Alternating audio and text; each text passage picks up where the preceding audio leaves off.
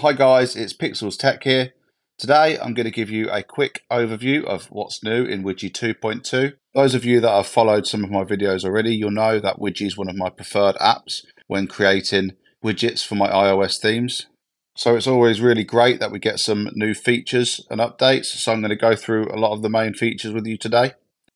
And we're going to start with the one that literally jumps out at us, and that is the emboss effect. As you can see with the widget in front of you, I've made this widget with most of the new features that are available to us. And those features consist of emboss. The calendar compact mode now has more options. There's a massive uh, variety of new fonts that you can use. There's a new automation view for those that use automations. There's a new feature called text charts. The tap actions has had a refresh. There's some UI changes, bug fixes, and iOS 14.2 compatibility. So let's dive straight into Emboss. And to get Emboss, you're going to go to any symbol, picture, shape, whatever you want, and it's going to be at the bottom of your effects tab. So to turn Emboss on, you're going to press the little slider until it's green, and you can see on the widget it's now got a 3D effect. And you can adjust that by adjusting the emboss amount up and down. You can press the settings to put a fixed amount in, or you can change the angle of the embossed effect. Also, you can change the color of the shadow.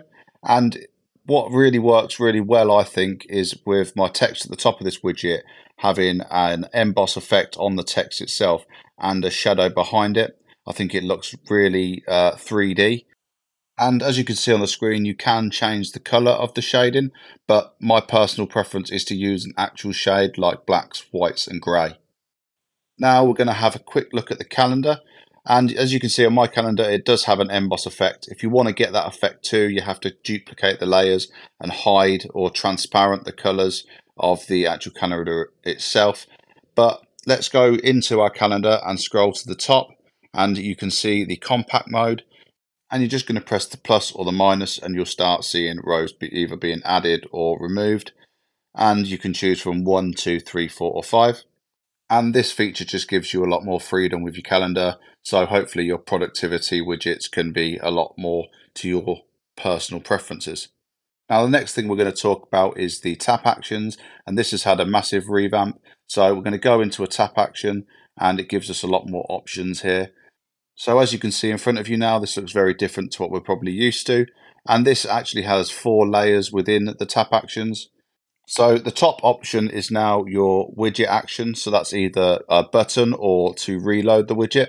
So I'm going to leave this on reload widget. And the second one is a brand new feature, which is play sound. So as you can see, you've got plenty of different sounds here. And these are the actual iOS sounds that you actually get on your uh, device itself. And there's plenty to play around with. I've had quite a lot of fun. I've even made myself a bit of a soundboard um, it's it works pretty well, and you'll I'm sure you'll get some enjoyment out of it. So yeah, go and have a look through all of these, just like I am now, and pick your widget sound for when you press your tap action.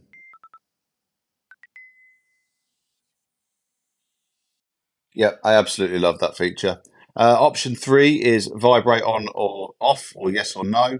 Uh, that's as simple as your phone vibrating when you press the widget or the tap action.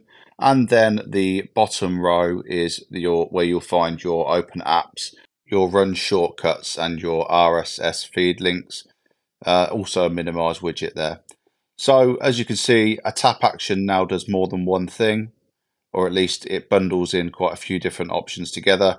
So I'll go and have a play around. I'm just going to give you a quick demonstration now of how it works.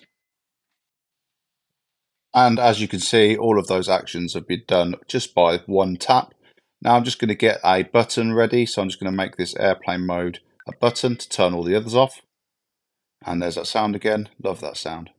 So as you can see, it's hid those other layers. It's made the little sound and it's opened my settings all with one tap.